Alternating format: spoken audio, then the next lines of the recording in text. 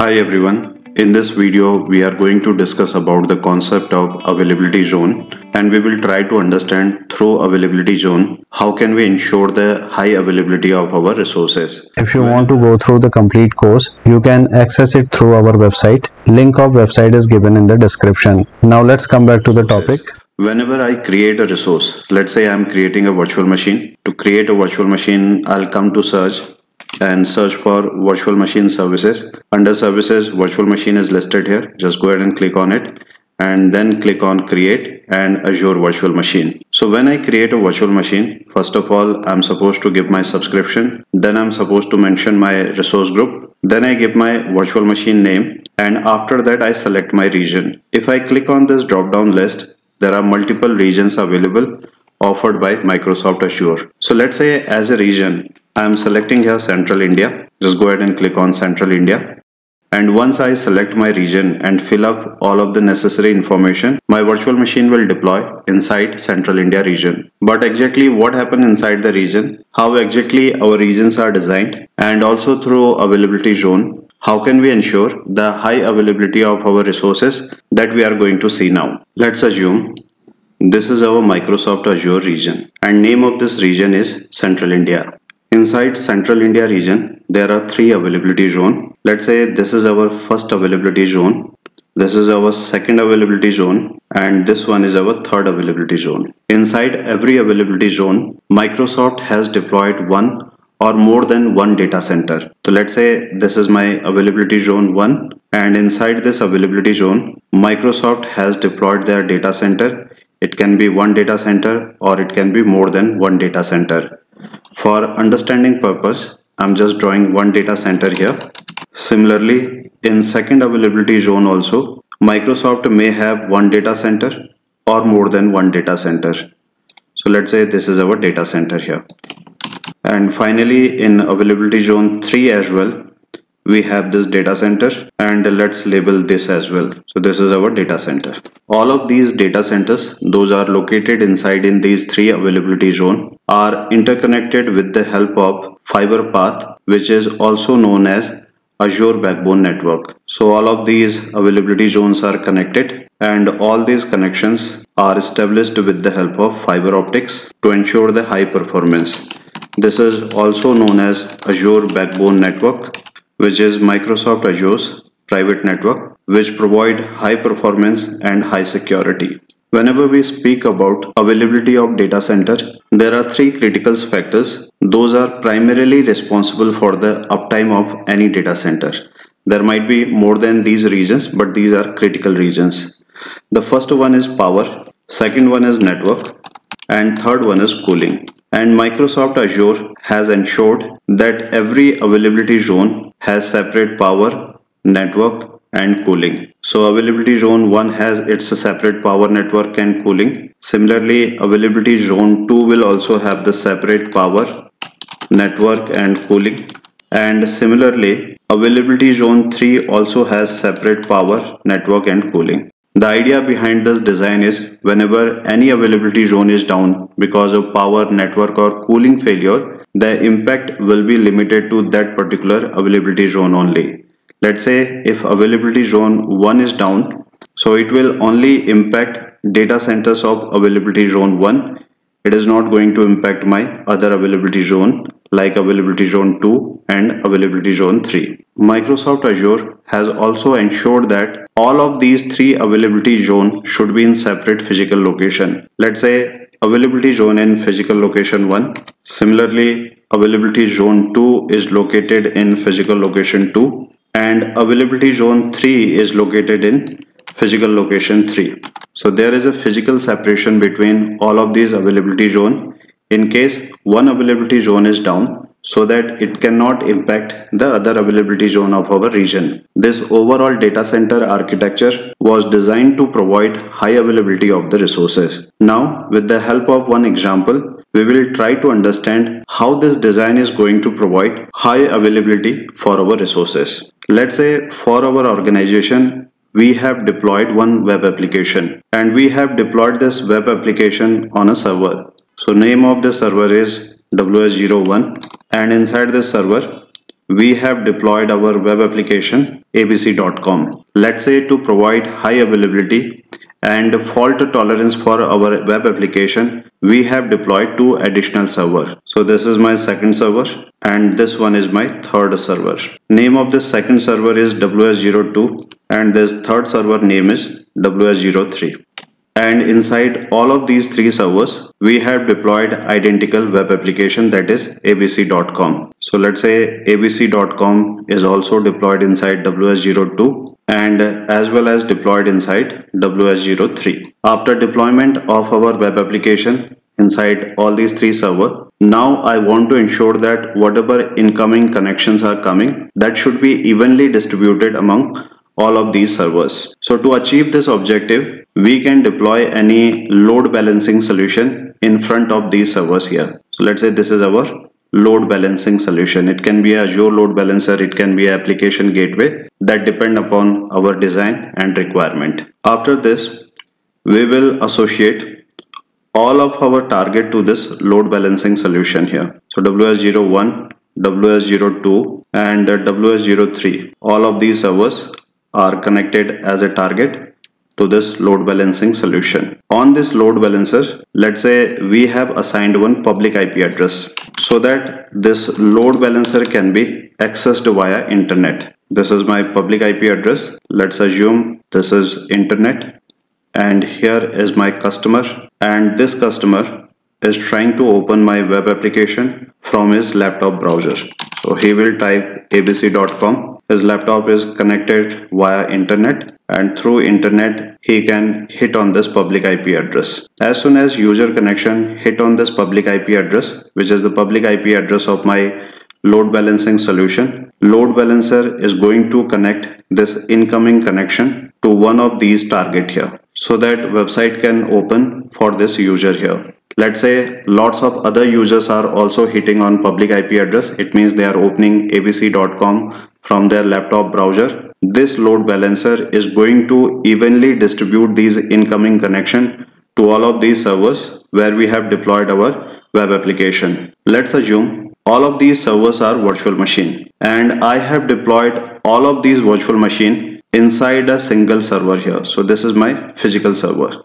And as I said WS01, WS02 and WS03. All of these three virtual machine I have created inside this physical server only. It means they are using the resources of this physical server. If physical server is up and running, in that case my virtual machine will also run. And if because of any reason my physical server is down, all of my virtual machine will also be down in that case. Let's assume there is a hardware problem in this physical server which caused hardware failure and because of this hardware failure this physical server is completely down and if this physical server is down it means my all of these three virtual machines are also down. Although we had created three servers here so that we can provide high availability and fault tolerance, but all of these virtual machines were deployed inside the same physical server and when this physical server broke down, as a result, all of these virtual machines also stopped here. To avoid this situation, we thought of a different design. Let's say now, instead of deploying all three virtual machine inside the same physical server, now I'm going to deploy these three virtual machine inside three separate physical servers.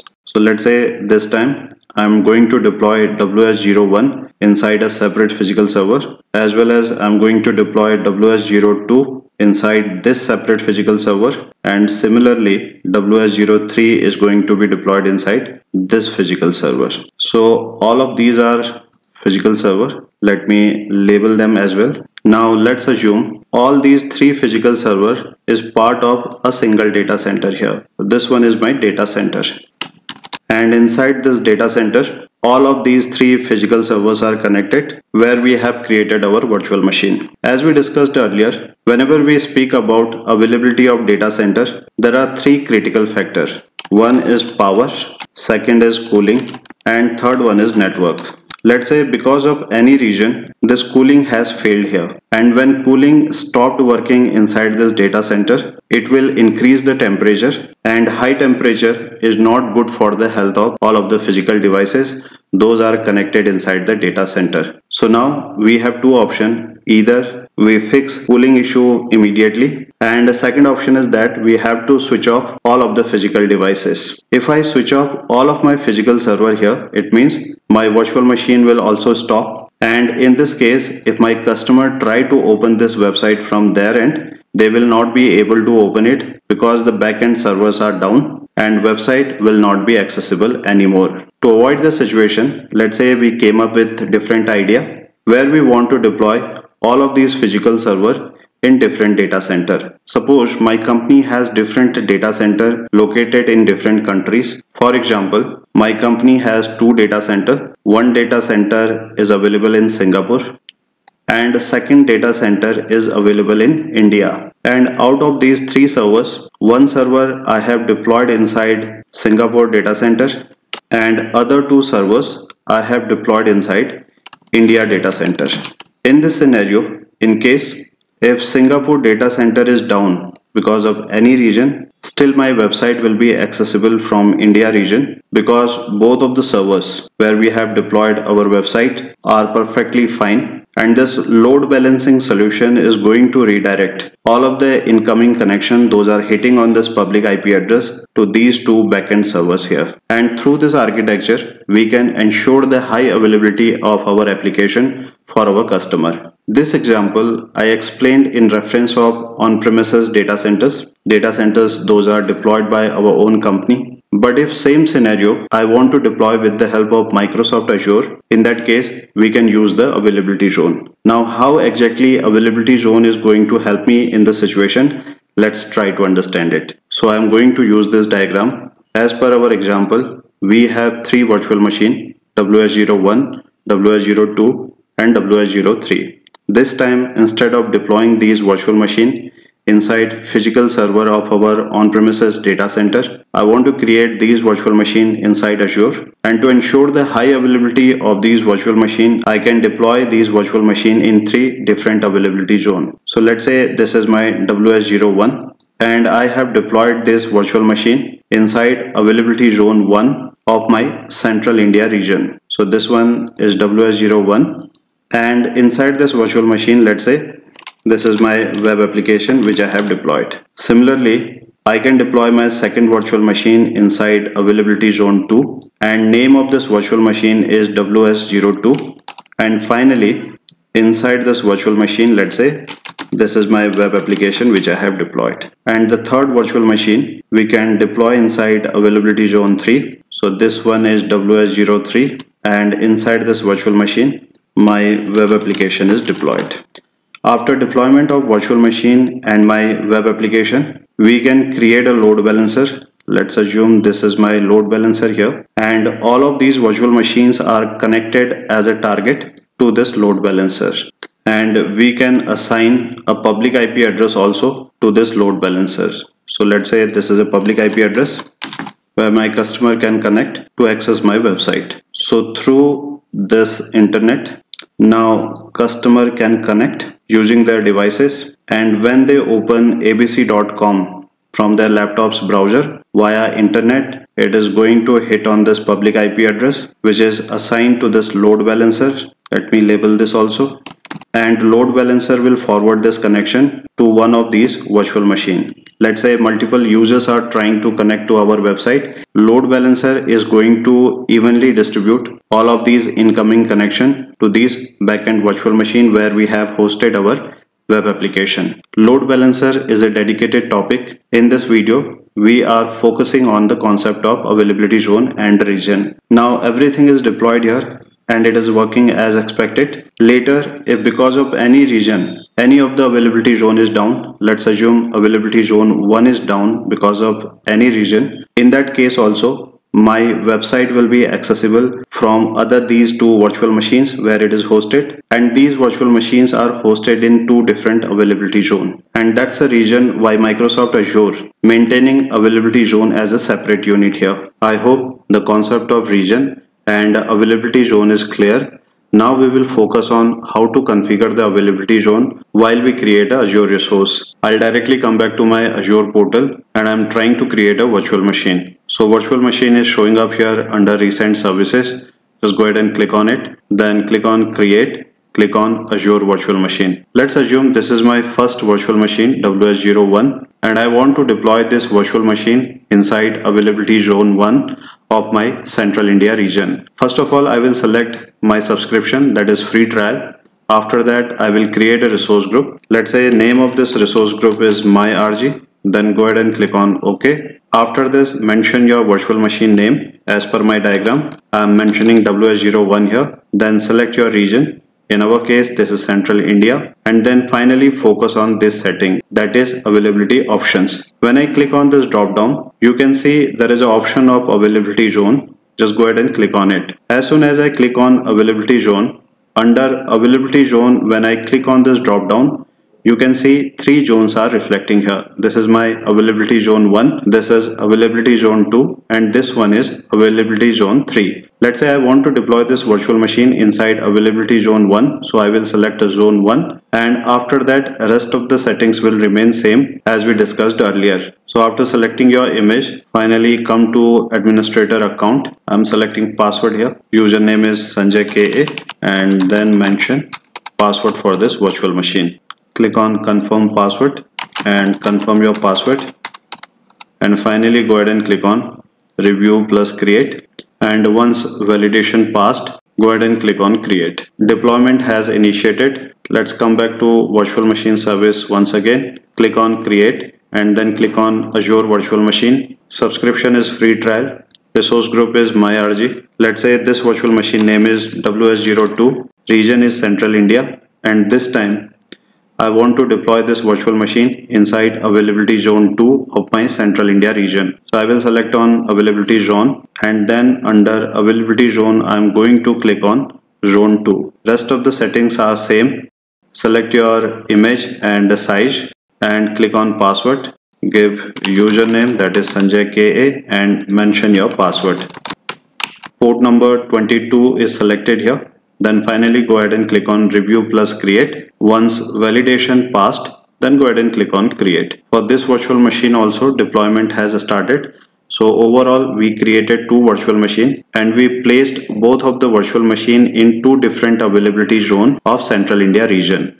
Second virtual machine is also created. If I come back and click on virtual machine, we can see both of the virtual machines are listed here WS01 and WS02. If I want to verify the availability zone where I have deployed my virtual machine, I can click on virtual machine, let's say WS01 and when I click on overview, here you can see availability zone 1 is showing up. Similarly, if I go to WS02, this virtual machine we had deployed inside availability zone 2. Similarly, we can create our third virtual machine also and we can deploy that virtual machine inside availability zone 3. So this is how availability zone work. We tried to understand the concept of availability zone and also we saw how to configure it practically. See you in next video where we are going to discuss few more points about availability zone. Thank you.